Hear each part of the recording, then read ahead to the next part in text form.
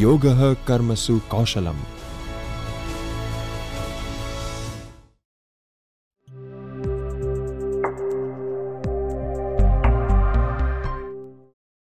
Now we move on to one of the latest aspects and that is the aspect of vertical learning. Now what is vertical learning? Vertical learning refers to the learning that takes you or rather I should say that has the ability to measure your learning. You enter the university on day one and the teacher must have the capacity or rather I should must make it a compulsion to record or to register the skills that the student exhibits at the point of entry in the university system. So, and this kind of uh, measurability should be continuous. One enters the university system and with what developments he leaves, he or she leaves the university system must be exhibited or must uh, be recorded and this is comes under the category of uh, measurability. So, measurability becomes one of the primary criterias of vertical learning. So, how one moves from level 1 to level 2 or for that matter level 3 is needs to be taken care of in the modern day education system or the curriculum design. For an example, we can uh, take a recourse to the softwares or the apps on your mobile which require constant updates. So, in the same way, learners also need to exhibit the same updates. We can take another example, the example of uh, the network services provided by mobile carriers. For example, 3G. From 3G we have moved to 4G and then already there are mobile sets in the market which have the capacity to perform on 5G models. So this is a constant update going on. This is a, this is this refers to vertical learning, and the new university model will be the vertical learning model, and therefore one needs to cater, one needs to incorporate and exhibit that kind of learning skills within the curriculum design and also align those design in such a way that it gets reflected in the learning outcome of an individual.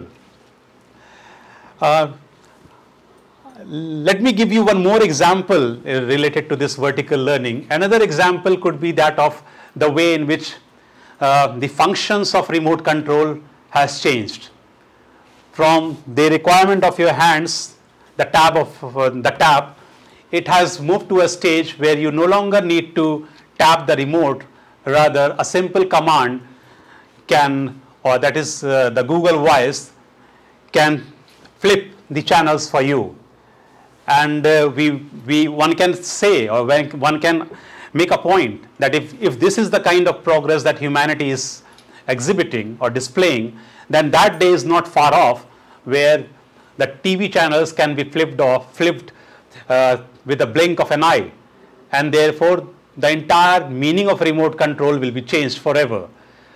So, vertical learning refers to that kind of uncertainty and therefore when the uncertainty is so deep the engagement level increases and hence the learning skills also uh, require constant updates and diversions. So vertical, uh, vertical learning has two important aspects. One that I have already talked about that was the uh, knowledge update whereas the second aspect refers to the flexibility of credit intakes. Now, this flexibility of credit intakes again uh, refers to the way or rather I should say to the speed that the world is changing.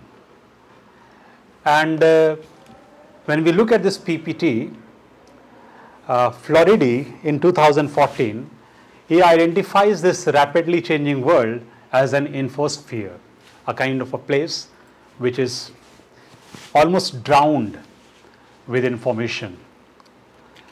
And this is the kind of infosphere that we as individuals, as collective citizens inhabit. So we inhabit this place as inforgs. Inforgs basically means the digital tools. because we are getting the informations through various digital modes. In such a sphere, the reality tends to become illusionary. The moment you reach to a certain stage, you realize that this is not the uh, destination you wanted to reach.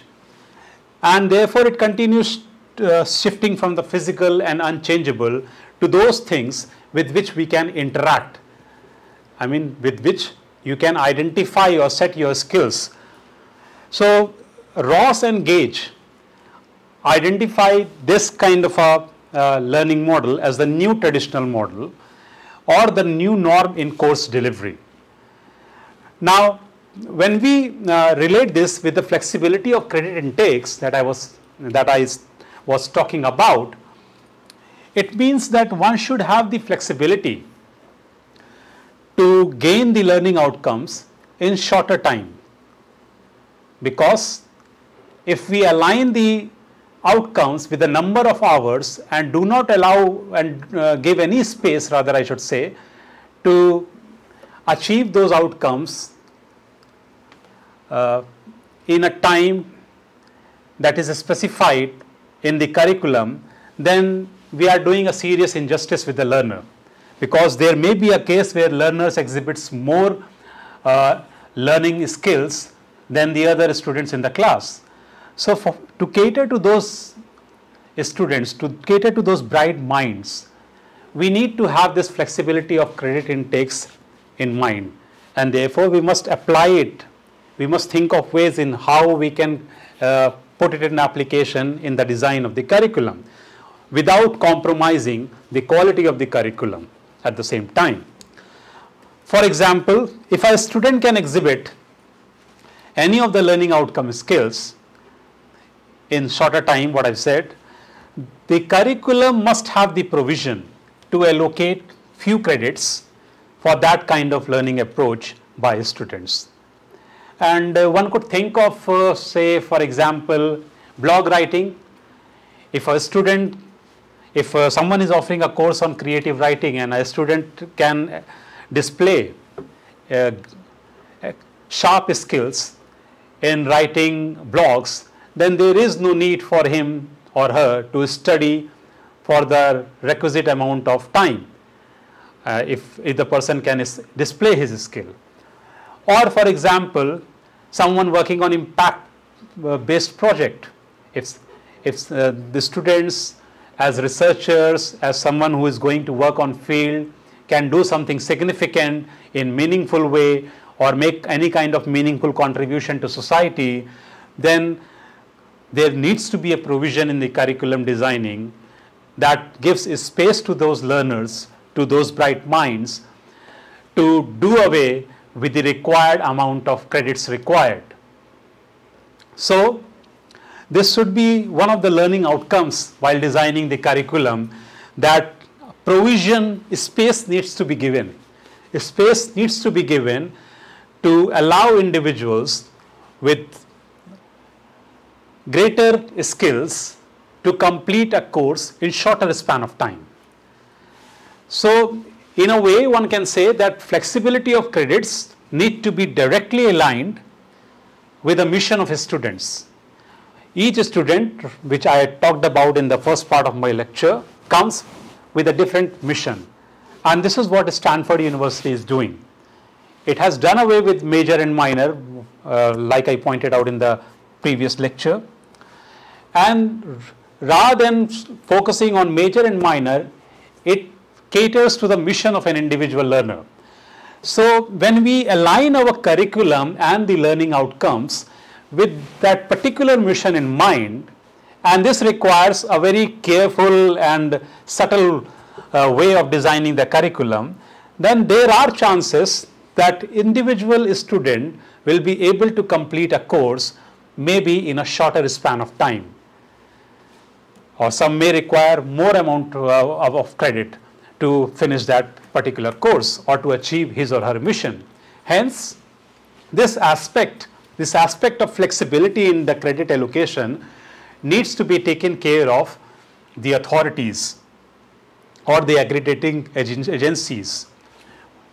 So, so that there needs, there can be a demand for designing such kind of learning outcomes. To put it simply, vertical learning can be promoted by identifying problem centered tasks that can match the design learning outcomes. And this takes me to the next aspect of curriculum designing or the learning and the learning outcomes that is the blended learning. So let us have a look at this PPT which talks about blended learning. Blended learning provides flexibility of learning resources when implemented as an instructional tool to function in a network environment. When I say network environment, it means any organization, any university, school. So that becomes a kind of a network environment. Blended learning can be implemented through virtual learning environments. That is the VLE system, which can be found in many universities and this facilitates uh, the connections among the workers, learners and the, and the teachers. One can connect to n number of people using this virtual environment of online learning, thus giving learners situated in any part of the world but connected to the network that is a particular university or organization and access to course contents and teaching.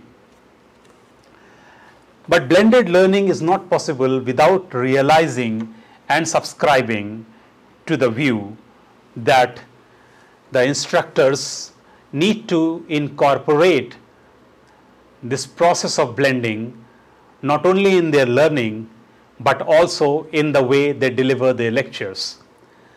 So, blended learning as pointed out by Garrison and Kanuka, defined it as the thoughtful integration of classroom face to face learning experiences with online learning experiences.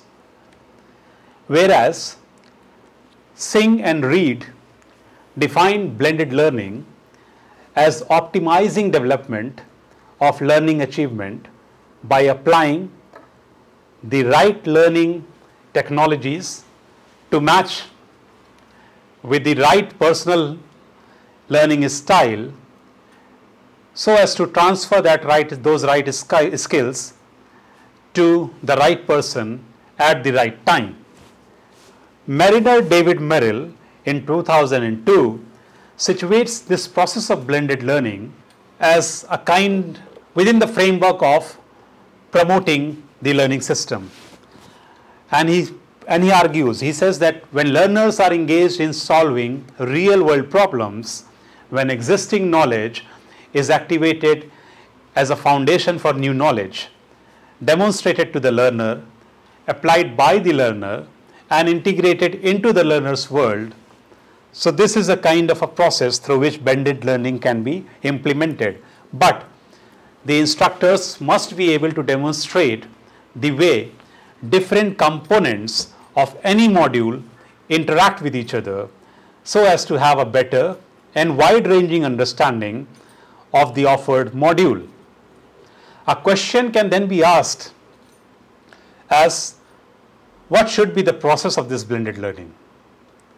What can be blended and for what purposes?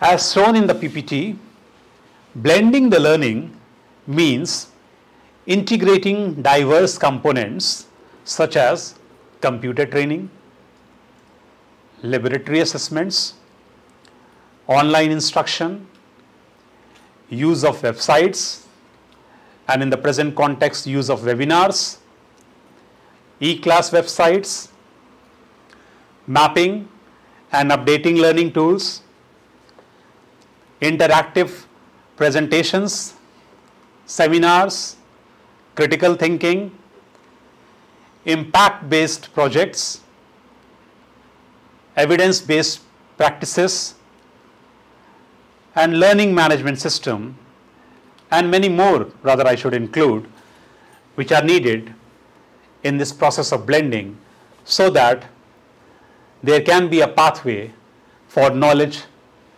circulation, assimilation, and application within and across the physical space of any learner. The application part gets reflected in the achievement of learning outcomes.